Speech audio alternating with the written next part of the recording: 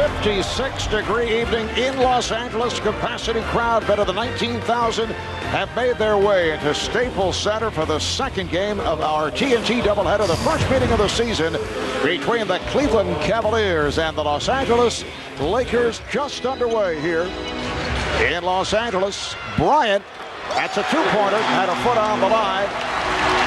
Kobe Bryant, uh, or several of these games since returning from the uh, two-game suspension, as Gooden gets inside and the Cavaliers lead 6-4. That was interesting to see the Portland Laker game last Scoring night. team, LeBron James with that off-balance jumper. Cavaliers 8, Lakers 6. How about Nate McMillan really bothering San Antonio? Bryant going at James. Oh, you can see Kobe's eyes lighting up when he realized the man back was LeBron James, and he took it right to him. He relishes. He's very aggressive. He can shoot the ball. Good defender. LeBron gets it to go and end the foul. Foul on, on Smush Parker, who Because he has established himself here in Los Angeles. Oh, Kobe Bryant with a gorgeous spin. Lakers lead by two. LeBron James beating the Lakers back down court, and the game is tied. And there's the exchange that you could sense this crowd was waiting for, Marv. Back and forth, Kobe and LeBron. There's Bryant off the fake on Newble, and a foul, or the for good. James penetrates. LeBron James with that hop skip moves. His defense giving up that wide open look. Oh, James the stuff as Snow took it away from Bryant. Here's Marshall for three. Donyell Marshall from Bryant played well by Newble, shoots over him and scores at the buzzer. A three for Bryant. They'll review it. But there's no question he got it off on top. Ira Newble was in his face. I don't know, Marv, if there's James guarded by Vujacic. Here's James going right at him, then by Brown, providing help and a foul on Kwame Brown. Remaining of the first half, and uh, Bryant wasting no time. Boy, he was ice cold on that bench, wasn't he? that, that didn't bother him much. So nice pass to LeBron James, Donyell Marshall, and I think it's strictly a defensive injury. Shot clock at four. Beautiful pass. James out the bounce to Ilgauskas. The season, but only eight up and eight down here at home. That was intended for Bryant and broken up. Nice play by, by James. There's LeBron, and he is fouled in the act. Foul on Odom. to basketball, I believe. And the foul is called on Bryant. Battling the clock. Here comes James. Oh, LeBron James with a second to go in the half. Parker from backcourt. Did I just see that, Marv? LeBron, so much talk about the head-up competition between you and Kobe, but you were so excited on that last play. Talk about that play. Man, it was excellent. You know, we shrunk the floor on Kobe Bryant. We knew he was going to try to break down our defense. Eastno got a great steal and we got on a run.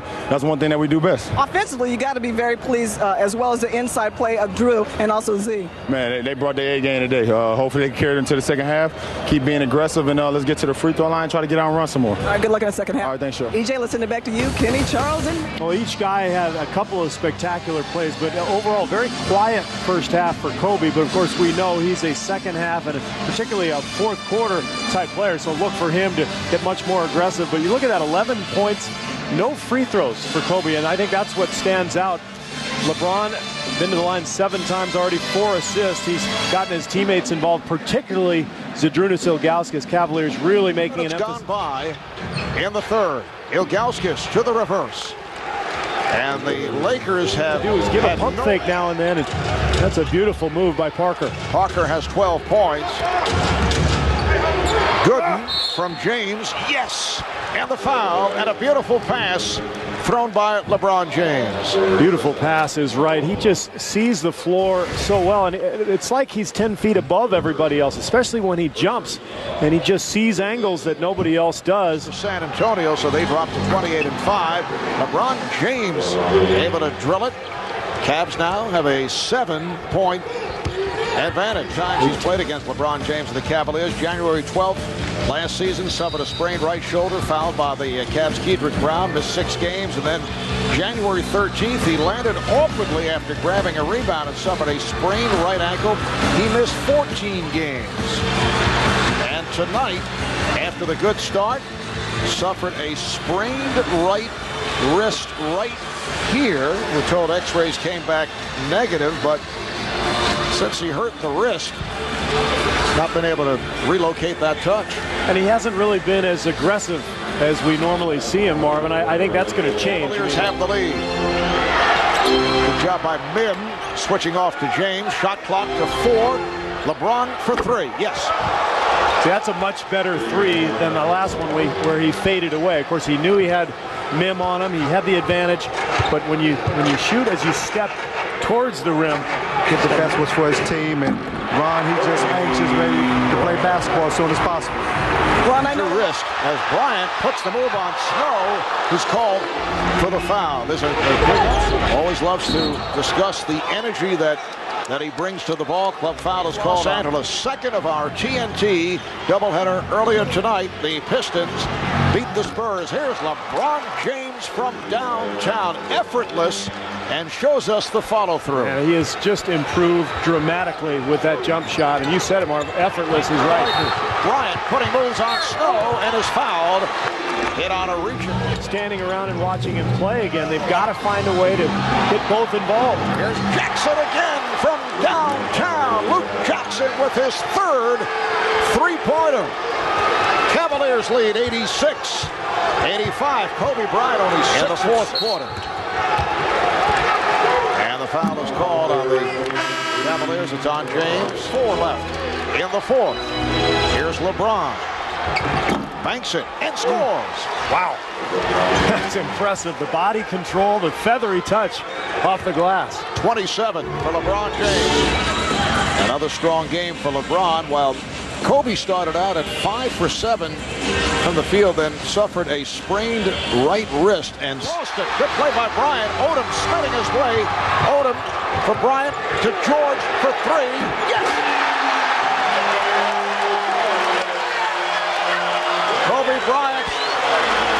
Deflection set that up.